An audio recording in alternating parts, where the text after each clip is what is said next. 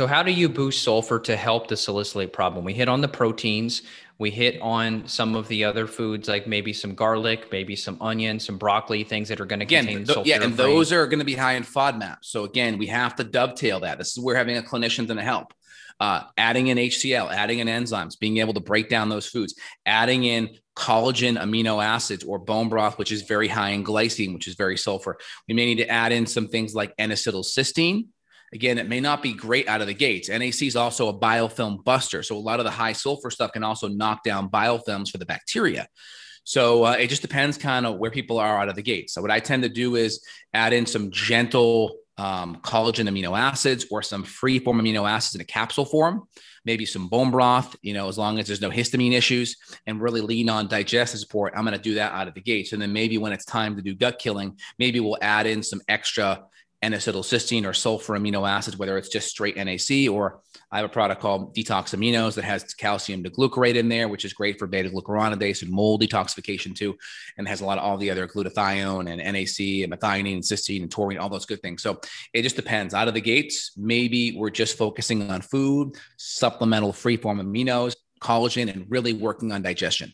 Yep. And if you've got a kid too and you're trying to work stuff into their system, it may be a little harder. Epsom salt baths could go a really long way. Yes. And then liposomal glutathione in a liquid form. So there are some really good like syrups and some things that you and I use clinically, which can be helpful. So it's not mandatory that you go to the glutathione level, but that is a really good way to help a lot of different mechanisms because you're going to be mobilizing and pushing toxins out and protecting them too. It's a really powerful antioxidant. So we really like glutathione for kids. And typically we're going to go go like a quarter of an adult dose, depending on the weight of the kid. So if it's a young kid we're working with, you know, if a normal dose is a teaspoon, we may come in quarter teaspoon instead, or maybe we go half a teaspoon.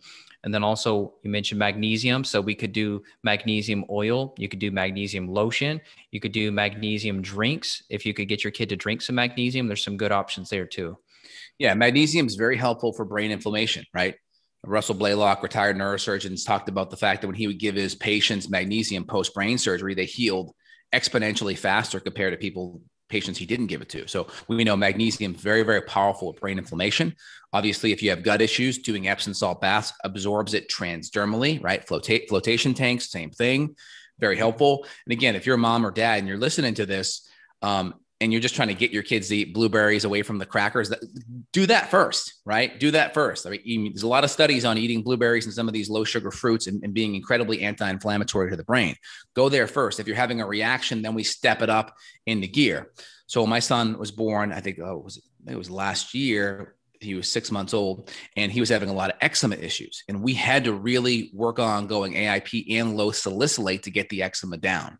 Now, once we worked on gut and digestion and good bacteria balance, we were able to add these foods back in and it wasn't as big of a deal. And when you're younger at that age, there's some uh, immune issues that tend to happen in that first year of life. And so we were able to get through that point and it, his eczema really never came back and unless we eat certain foods that we know are, are, not on his plan.